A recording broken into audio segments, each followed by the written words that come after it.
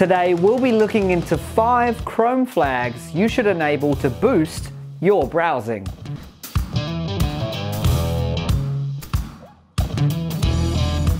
Hey guys, it's Joel here with Make Tech Easier. Google Chrome has enough features to shake a stick at, or more appropriately, to wave a flag at. One of the less charted areas of Chrome's broad repertoire is Chrome Flags, where you'll find a database of experimental features that, while not always fully functional, can boost your browser in ways you wouldn't have thought possible. These are the best Chrome flags for tweaking the browser on both computers and mobile. Before you use any of these Chrome flags, you first need to know how to access them. Type chrome colon double slash flags in the Chrome address bar and hit enter. You will see a big list of Chrome flags with a warning that these features are not stable. You can use Chrome's Find, Control plus F feature to quickly find the features we have listed. Rasterization is the process by which Chrome organizes website data into pixels and tangible information you end up seeing on the screen in front of you. It does this by organizing each page into tiles at which point it effectively paints in the information in each one to add up to the whole you see in front of you.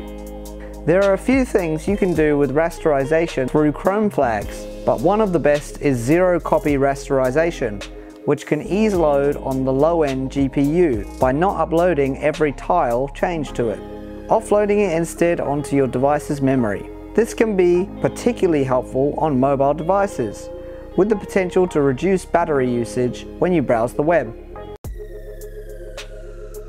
On Android, Google has been experimenting with a Duet interface for a few years now, which places most of the options like tabs, search, home, and the options menu at the bottom of the screen instead of the top. This feature is not for everyone, but if you want to try it then search for Chrome Duet in Chrome Flags. Here's the strange thing, setting Chrome Duet to disabled actually seems to enable it for us, while setting it to enabled disables it. So if it doesn't work, try doing the reverse of what you think you should do. There are several features on Chrome flags that can speed up your browsing, many of which are enabled by default. One such feature, which specifically speeds up your downloads, is parallel downloading which splits each file you download into three separate jobs, speeding up the whole process. To enable it, in Chrome Flags type parallel downloading, then click default when it appears in the list, then click enable. As the name suggests, this lets you smoothly scroll through the content. When you scroll in Chrome using your mouse or the arrow keys, there's a little stuttering in the animation, in my experience, it makes it hard to quickly go through content and easily read what is important at the same time, which is bad for content skimmers. With this option enabled, smooth scrolling just feels right and professional.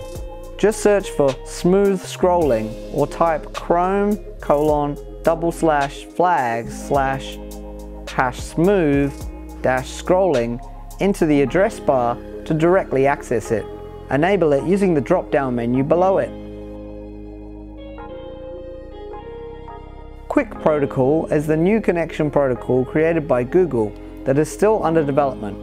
QUIC is supposed to be a mixture of TCP and UDP protocols that is much faster and more secure at the same time.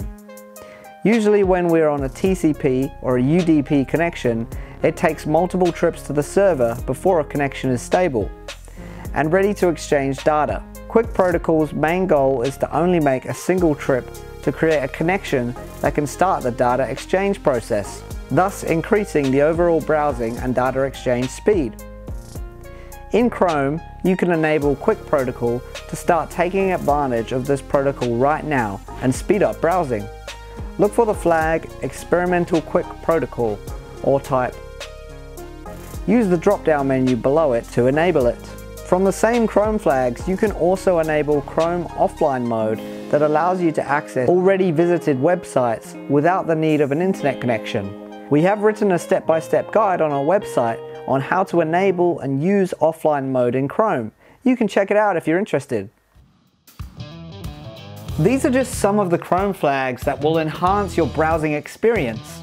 Although there are dozens of other flags to try, we don't recommend you mess with them unless you know exactly what you're doing. These experiments can prevent you from browsing normally and may even lead to data loss, so be very careful and only enable what we've mentioned here. Do you have any favorite flags that you'd like to see included? Let us know in the comments. Well, that's it from me. As always, if you love tech as much as we do, make sure you hit that subscribe button, turn the bell on, and you'll be notified by our latest and greatest tech savvy videos. See you next time.